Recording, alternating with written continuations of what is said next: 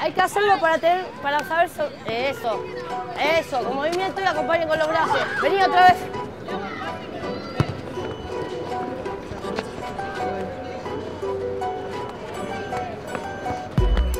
¿Qué me importa? Las mujeres también, también saben jugar al fútbol.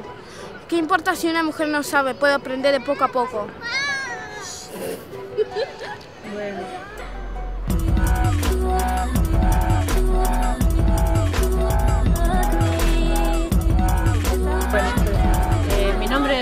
Mónica Santino, soy directora técnica de fútbol.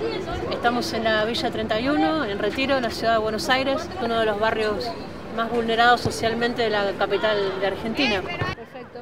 Bueno. Va a ser, sáquese la mano de los bolsillos, muy bien, va y le pega, la dale, a la compañera, a la compañera.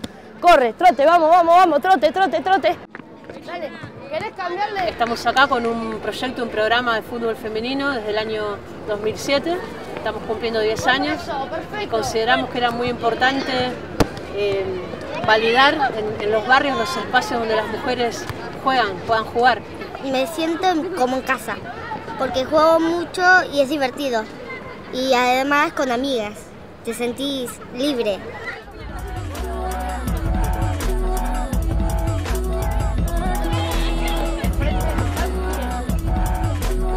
Es el deporte que nos representa, es el deporte que da identidad y tiene una, una fuerza, una, una cuestión cultural masculina o machista fuertísima en nuestro país en Latinoamérica en general, eh, que hace que considere que las mujeres no podemos jugar, no podemos participar y tampoco hablar de fútbol.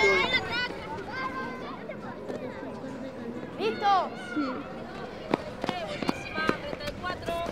Elegir ese deporte en un barrio vulnerado como es la Villa 31 implica generar empoderamiento para las mujeres, implica tener conciencia de nuestros cuerpos, eh, saber que podemos jugar igual y no obedecer conductas o, o pautas culturales que implican que debemos vestirnos de una forma, comportarnos de una forma y que lo único que se espera de nosotras es la maternidad. Es nuestra pasión, nos gusta jugar. ¿Qué tiene que ser de malo? Y no nos importa la- lo, lo que nos digan los, los, los demás. Uy, perdón.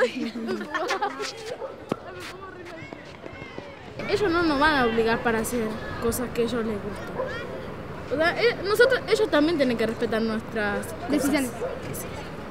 Y cuando venimos acá a jugar la pelota, todos están en la cancha y no podemos jugar a veces. Y a veces todas las chicas.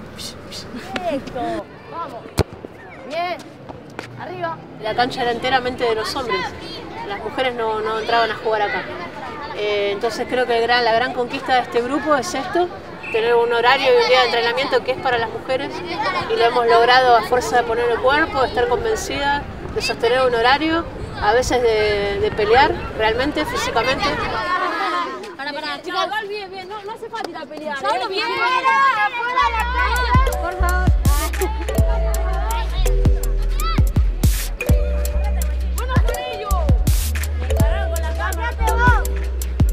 Que te dice que te meten goles, eso, eso te dicen.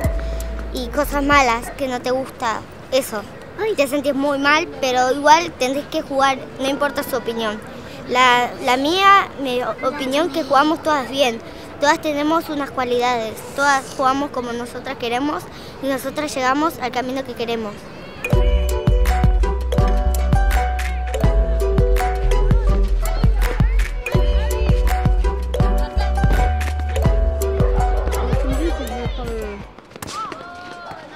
Tenemos algunos casos de algunas chicas que han terminado el profesorado de educación física y que ahora están jugando al fútbol en el torneo más importante y han fichado en un club de AFA.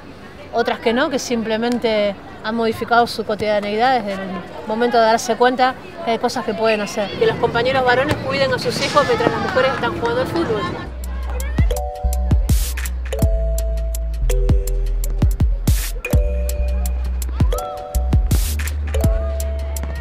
Jugar al fútbol es eh, conectarse con la vida plenamente, eh, es, ser como sos en la cancha, también sos afuera y entender que capaz es mucho más lindo hacer un pase y que la compañera pueda hacer un gol que gol propio. ¿no? El fútbol tiene de maravilloso eso, de entender que eso, que los cambios son colectivos.